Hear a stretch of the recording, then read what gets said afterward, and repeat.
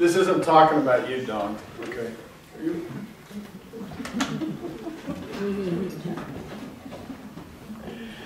Are you blind? Maybe, maybe not. I don't know. Blind to what? Let's find out. We're looking at Acts chapter 26, verses 12 to 18 this morning. And this is Paul talking once again about that little journey down the road to Damascus. But we're going to talk about it again as well. So he says, On one of these journeys, I was going to Damascus with the authority and commission of the chief priests. About noon, King Agrippa, as I was on the road, I saw a light from heaven brighter than the sun, blazing around me and my companions. We all fell to the ground, and I heard her voice saying to me in Aramaic, Saul, Saul, why do you persecute me? It is hard for you to kick against the goads. Then I asked, Who are you, Lord? I am Jesus, whom you are persecuting, the Lord replied. Now, get up and stand on your feet. I have appeared to you to appoint you as a servant and as a witness of what you have seen and will see of me. I will rescue you from your own people and from the Gentiles.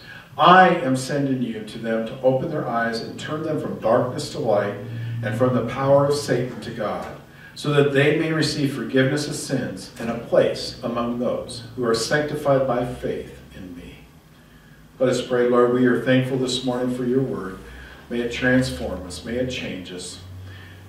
Lord, I pray right now that our ears are unplugged, that our eyes are open, that we are willing to receive what you have for us this morning. In Jesus' name, amen. Amen. Anybody like to live in Alaska?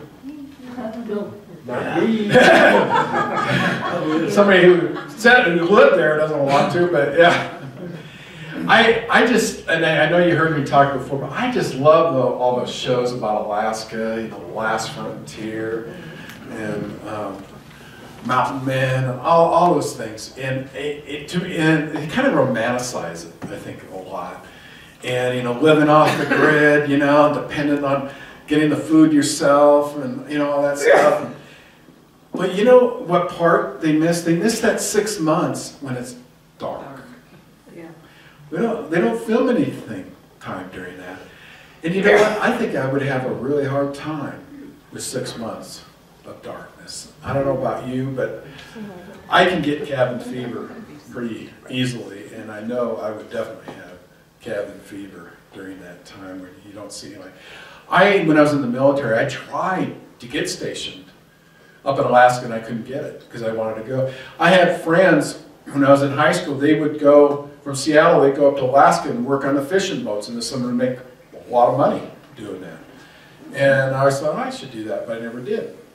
And then going back to my high school reunion, there's somebody that I played football with that he owns a boat up there in Alaska and he's making a living to this day off fishing. And he's gotten to the point where he only has to fish about three months of the year. And he takes the rest of the year off because he can make that he can make that much money in that time period. He doesn't have to work the rest of the year. So, but then you look at him; he's got scars, you know, up and down his arms from hooks and different things, and it's not an easy life.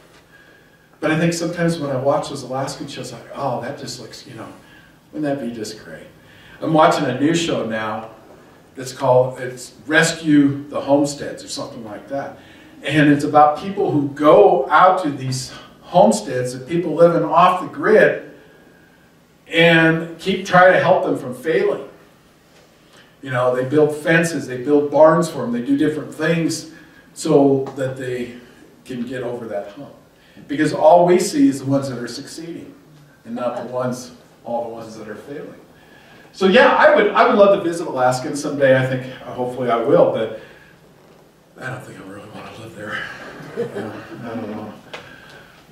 Are you blind? Anybody remember Bill Clinton? Yeah. yeah. you know, there's a country he's a hero of. Did you know that? We've been to that country. Kosovo. Why? Did anybody remember the ethnic cleansing that was taking place in the Bosnian War? Okay? And this country is made up of Muslims, and unfortunately, the ethnic cleansing was done by Orthodox Christians, killing all the Muslims. And so they were they were a place where uh, all the other countries turned their back on, except for America. And Bill Clinton was the president, and we came in and drove all the tanks and everybody away from them, and uh, in their opinion, rescued them. And so they have they have statues of Bill Clinton in the town square and stuff. Is the funniest thing to see. They have people named after him. They have people named after him. Yeah, yeah, just amazing. Bill Clinton. Did you ever wonder how he got elected? Well, maybe somebody voted for him, but you know, because usually when you have a sitting president, he usually has an advantage, right? And Bush was sitting as a presidency. So why wasn't Bush reelected? Well, if you remember at the time, there was something going on called a recession. And it was a lingering recession, and people weren't seeing any change. Okay? So that was souring people somewhat. But you know what else? He had no vision. In fact, he knew he had no vision because he made this remark. I have trouble with this vision thing. Now, I don't know about you, but you know, maybe I'd like to have a president that has some vision. Wouldn't you like to have a president that has some vision? Wouldn't you like to have a pastor that has some vision? Proverbs says, where there is no revelation, and that's translated as prophetic vision, people cast off restraint. Where there is no vision, people cast off restraint. And they don't heed to wisdom. Without vision, we perish. People perish without vision. People run wild. They cast off restraint. They run wild.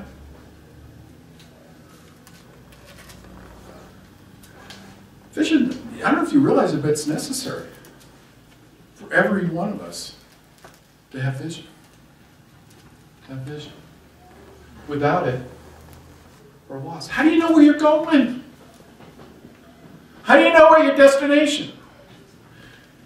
Now, at times when I, I used to with my motorcycle, sometimes I would just take off and go somewhere I didn't know where I was going. You know, just for the ride. But if you take off in your car, don't you usually have a destination you plan on heading to? Maybe it's a store, maybe it's a gas station, you know, somebody, a friend, church. But you have a destination in mind. You don't just get in there, oh, I'm just going to drive for a while. We'll see where God leads me. I don't know where I'm going. Right? We're lost. We got to have a destination. We got to know where we're going. Whoops. Habakkuk 2 2. Then the Lord answered me and said, What? Write the vision. Write the vision and make it plain to everyone. So they know where they're running to, so they know where they're going. We need direction. We need someplace so we know where we're going to, right? Paul understood this. Now you may say Paul had two visions. First, it was to kill every Christian. and second of all, it was to save everybody. yeah. But we'll talk about the second one. When Jesus encountered him on that road, you think it was a wake-up call, maybe, for Paul? Paul understood. Paul had clear vision on what Jesus wanted him to do. And part of that was his conversion and then to save people, to, to go out and preach the word. To not just the Jews, but to us, the Gentiles as well, right? And so you say, all right, that's great. Paul knows what he's doing. What about me? Paul's Paul. I mean, yeah, Jesus. Jesus came right in front of me and told me, okay, this is what you're going to do. Oh, yeah, that'd be pretty clear?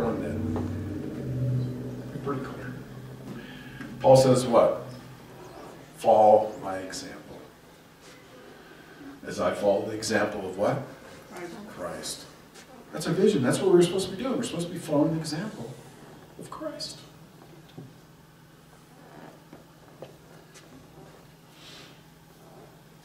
In Acts, we just said, Rise and stand on your feet, for I appeared to you for this purpose. What?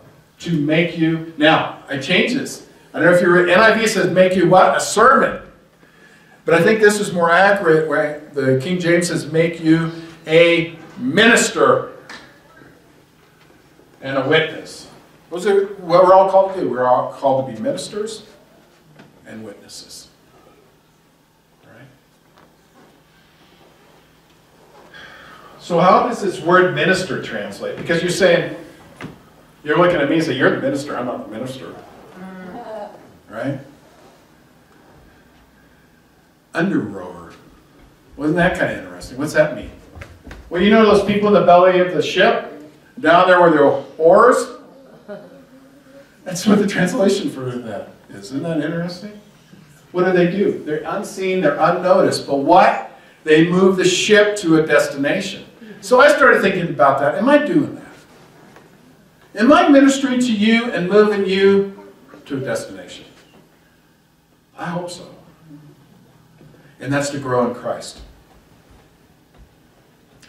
We, uh, Janae and I were just talking yesterday, and we are so thankful for people in this church that want to grow and not stay where they're at.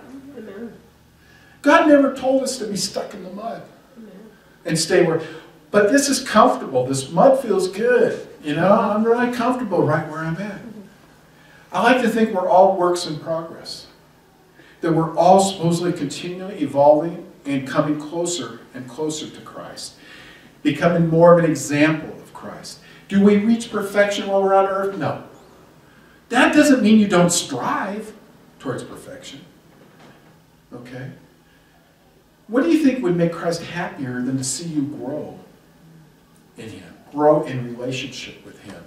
Be an example of the love of Christ to others, of the mercy and grace that He's demonstrated towards us, to demonstrate that towards others. And that's part of what I want to do with this park outreach. I want us to demonstrate the love of Christ to a community.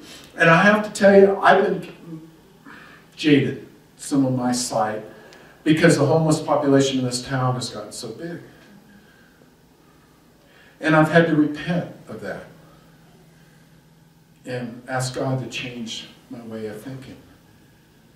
Because these are people that need help. And we are not doing anything. So I think it's time we stepped out in faith and started helping people here in Pueblo. Um, so the under is moving the ship towards a destination. And our destination is to become more like Christ. Right? That's our part of our destination. Become more like Christ. And you as ministers as well are tasked with the responsibility to help lead others as well to Christ. Jesus, what, what would Jesus say? Go and what? Enjoy yourselves. No, no. Go have fun. Go, go make disciples. That's what he said. Go make disciples. Paul's commission is the same for everyone here. Everyone that's been chosen in Christ. And just as Jesus said, You have not chosen me, but I have chosen you. And ordained. Ooh, did you know you were ordained? You are ordained. Now, you can go on the internet and get ordained, but it ain't the same thing as being ordained by Christ. Okay. Fruit. That's what we want to see. We want to see that abundant fruit, don't we? We may or may not see it. Doesn't mean it doesn't take place. We are blessed when we do see it take place. So, we're ministers, and what else are we? Witnesses. Witnesses. Right? Now, an attorney, what's an attorney do? He argues, right? Think about this as you're witnessing to people. Do you take on the role of an attorney? Arguing the case for Christ? Do you take the, on the role of a judge? See, in, and judging people as guilty. Well, as a witness, sure. We're not to judge, we're not to convict, we're not to argue. We're just to share of what we know or what we have seen, right? Tell people what the Lord has done in you. I keep bringing this up, but this is part of what God's called us to do as witnesses is just tell our story. What God has done for you or in you in your life. Just witness. To open their eyes and turn them from darkness to light and from the power of Satan to God. That requires prayer, by the way, too.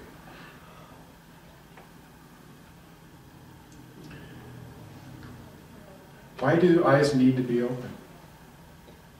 We talk about you need to open the eyes, why do they need to be open? Because they're blinded by sin. Have you tried to talk with somebody and no matter, you can talk to you blue in the face, but they're not hearing a word you say? Because they're blinded by sin. They're deaf, you can even, because of sin as well. Sin binds them and it can control them. It can be an addiction. And it definitely blinds them for their need for Jesus. Because what often happens is they, they think they got it all under control. Right? And sometimes they so blind they don't even recognize that they need help or want help. Well, then you wonder, but they may be wondering, what's my life about? Maybe they have no purpose. Why am I here? Why should I even get out of bed? Why should I bother? Should, why should I even care about anything? And we've probably all known people like that. Because they have no vision, they have no purpose, they're blind by the sin in their life. They haven't recognized the need for Jesus. And they may even say, what? Church is a crutch. I don't need that. I can do it on my own. Right? What do we say about church sometimes? It's a what? A hospital for what? Sinners, right? Because we're all sinners. We all need help, right? But the people who come here realize they're hurt or they need help. That we can't do it on our own. Or were we ever intended to do it on our own? We come here because we need help. Either because of our own sin or sin of others that may have been committed against us. We recognize, hopefully, you recognize that you need a helper. You need a healer. And we need a Savior. Hopefully, we all come to that point that we can't do it on our own without Jesus. And what happens when we do? I know from my talk about failure. And all I had to do was pray and ask God, and He would have given me the direction to go or the vision. But instead, I thought I knew it. And then it ends up as some big failure. Sin blinds us to the nature of Jesus. Do you know anybody that has that maybe not a Christian has misconceptions about being a Christian? What's one of their misconceptions? Jesus may be a cosmic killjoy. What does that mean? He's going to stop me from having all the fun I'm having. I've got to change and I don't want to change. I'm having too much fun. Those people oftentimes are miserable. they're blind to being miserable. They, they're convincing themselves that they're having fun. But they're thinking also that if I become a Christian, I can't have any fun. Now, does that sound like a lie from the pit of hell? It's really nothing further from the truth, because how do we know that? Well, we know because we're sitting here, and we know that also from Scripture. John 10:10, 10, the thief, oh, does not come except to steal and to kill and destroy. Why don't people see that? Because they're blind in their own sin. And Jesus has come so that what? We can have life. And what kind of life? Abundant life. Not just life, but abundant life. Wow. Hopefully that's what you're experiencing. If not, you need to go back to the throne. You need to go back to Jesus and find out why you're not experiencing that. Because there may be some sin that's blinding you experiencing that abundant life.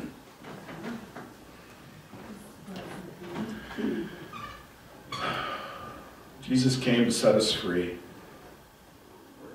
Not to instill all kinds of rules and regulations and restrictions on what we can do and what we can't do. No. We got to be clear on this. It's the Lord's job to rescue people. We cannot do it. That's not our role. That's not what He made us for. Only the Lord can rescue people from their own sin. We're to witness. We're to share. But we, our role is not to rescue. That is for the Lord to do. And of course, we have to be born again to be rescued. He turns darkness to light, people from Satan to God, from the kingdom of darkness and death to the kingdom of light and love.